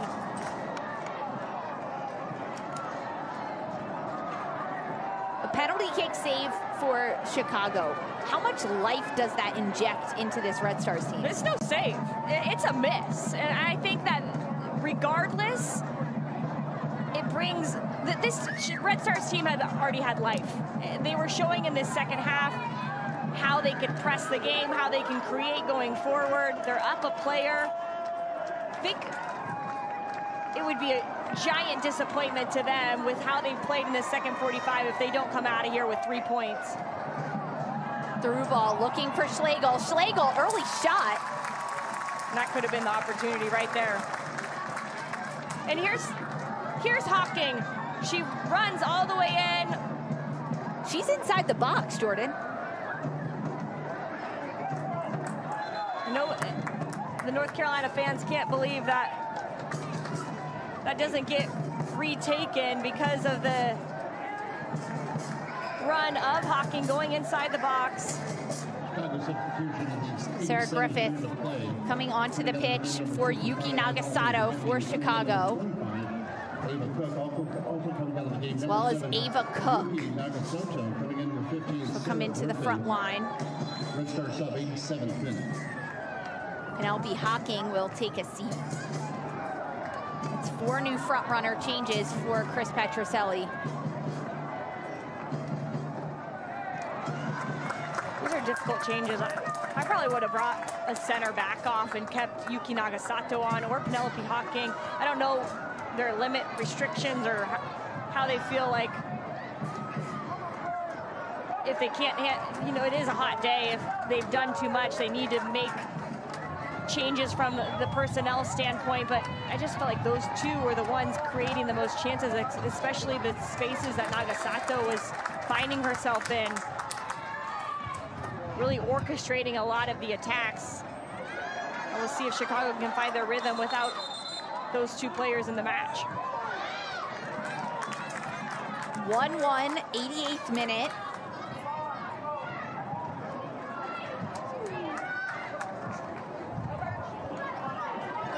Madsen.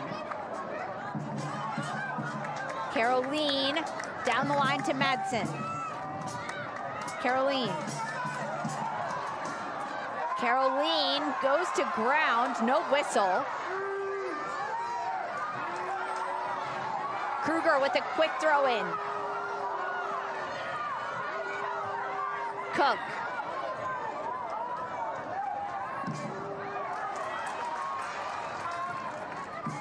Sharples sends it wide. Chicago goal scorer Tatumn Milazzo gets the equalizer for the Red Stars.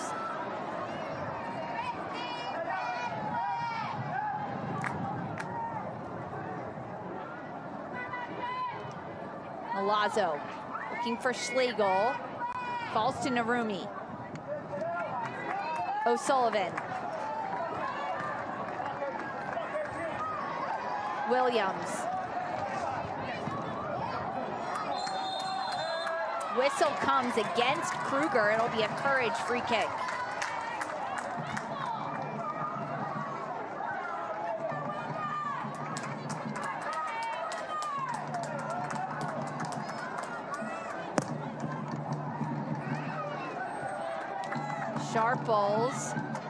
It back towards halfway.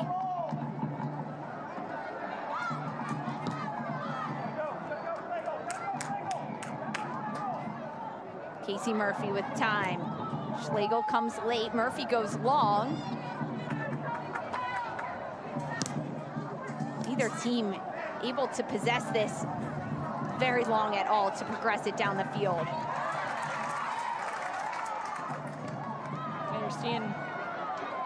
p.m. start time, tired legs happening right now for both squads. Narumi. Wingate. Wingate into the box. It's headed up. Kerolin is there. Cleared by Chicago. Only so far, and now it's sent wide by Wright. We'll get eight minutes of added stoppage time presented by Verizon at the end of this second half. Eight minutes is plenty of time. Both of these sides looking for their second goal in the game to take the win and all three points. It would mean a lot to North Carolina. A win tonight puts them in first place, one point ahead of Portland. Here comes Wingate. Wingate into the box. Kerolin. Kerolin can't get the shot off. It's blocked. Pickett getting possession over Matthews and draws the foul. This pass by Narumi, she's got eyes in the back of her head to pick out Wingate with an overlapping run, and this is what North Carolina need. They need Wingate to get into these situations, but dr drive the end line. Dribble, dribble, dribble, commit somebody. And then allow the spaces to open themselves up. Here, Kerolin trying to get through three, four players, but this run by Pickett to regain the ball, draw a foul, keep the possession high up on the field for North Carolina. If Kerolin scores this and she doesn't score a PK, we're gonna go crazy because I also wouldn't be surprised to do it. Kerolin with a set piece, a wall of three just inside the 18. Kerolin on frame, right to Naeher. Now those are two center backs right there, all the way up the field. I'm surprised Naeher doesn't try to go quickly. Naeher will throw it out now, finds Matthews. Matthews, an early ball into Cook. Matthews.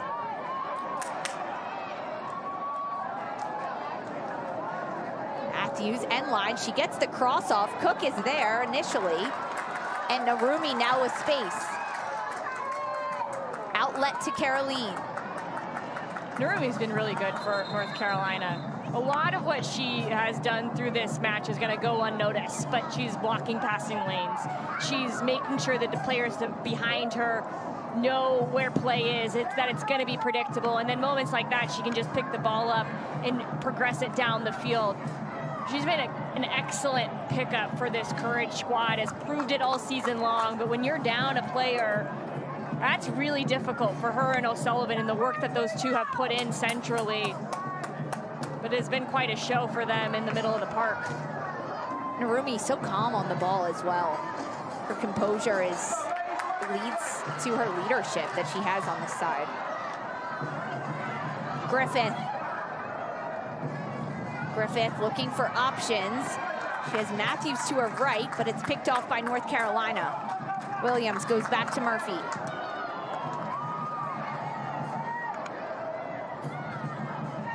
Kerolin. Feels like North Carolina's going to score a goal, doesn't it? Here comes Kerolin. Wingate centrally. Kerolin can't get past. Three and a half minutes gone of our eight minutes of stoppage time. You're down a player for nearly 75 minutes, and yet North Carolina has not at one minute look, moment looked like they're just going to sit back and say, all right, we'll take a draw at home. That's why I say, it feels like they're going to score because they are continuing to go. 10 players, doesn't matter. Let's try to find a winner. Well, you would think mentality, the penalty kick would have been the yes. opportunity. And mentality-wise, it shows you how disappointed they were with last weekend and their willingness to try to make it right despite not having 11 players on the field. Last weekend for North Carolina, their second 2-1 loss in a row, and their second game scoring first and then conceding two. They want to change the narrative today. Narumi with the set piece for the Courage. Into the box, Narumi. Just too much on it. I think these are the moments, though, that Chicago can try to get them with transition moments. They brought in fresh legs, Schlegel, Cook, Matthews, Griffith. Can they utilize them going forward against a very tired back line? Naeher will launch this to half field. Griffith gets past O'Sullivan. Can't get past O'Sullivan again, and the whistle comes against O'Sullivan. Incredibly confused Irish international right there, trying to laugh it off. Oh, I thought this was a weak call. O'Sullivan gets beat, but look, she gets back here. It's a little touch on the ball. There's no... I, I didn't see anything. I just don't see a foul. I don't see a foul there, but now Chicago with an excellent opportunity. Players up. First and second balls here. The best chances for Chicago coming off set pieces. Bianchi looking for the back post. It falls to Kerolin, and now she's running forward. Bianchi, what an recovery run and slide tackle. Yeah, I think Bianchi knows that run from Kerolin very well, Brazilian internationals. She wasn't gonna have it that time. Krueger going quick. She'll find Cook. Griffith now.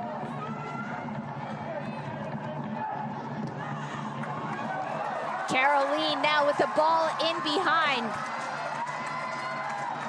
Kerolin running end line. She has Wingate. Wingate.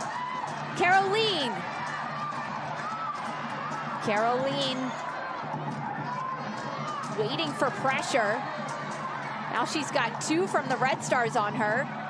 She tries to take it end line, but good defense by Sharples. It'll be a Chicago kick.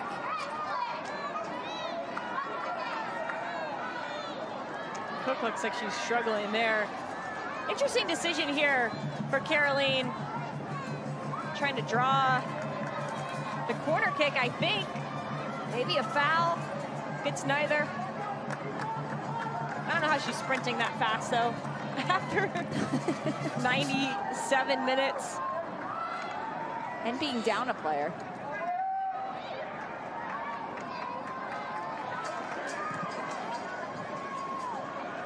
Matthews giving chase.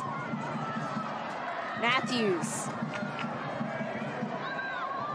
Pickett Good body positioning by Kiki Pickett. Been a fun battle over there since Matthews has come into the game. She's got the better of Pickett a couple of times here. Pickett getting the better of Matthews. Pickett a good early substitute out of necessity for Sean Nahas after Emily Fox went out with the red card in the opening 15 minutes.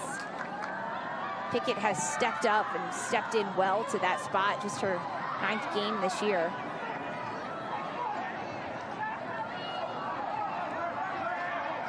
O'Sullivan wins the header, but it lands to Griffith. Krueger. Bianchi at the edge of the box. Bianchi chipping it for Matthews, and it's too far. And that's the final whistle here in Cary. 1-1. North Carolina and Chicago split points. Is this what you expected? No, not at all. It felt like this game could have swung either way. I'm, I'm still confused there at the end why Bianchi doesn't try to get that on frame. She takes an extra touch, and then the, the time expires. Gutsy performance from both teams. One coming back to get a point, one holding a point after being down a player for the majority of the game. I think Chicago is going to be a little bit disappointed. Even though they get a point, they don't come out of here with three. Two goals and a red card. It's now time for tonight's Ally play of the match. It's Tatumn Milazzo here.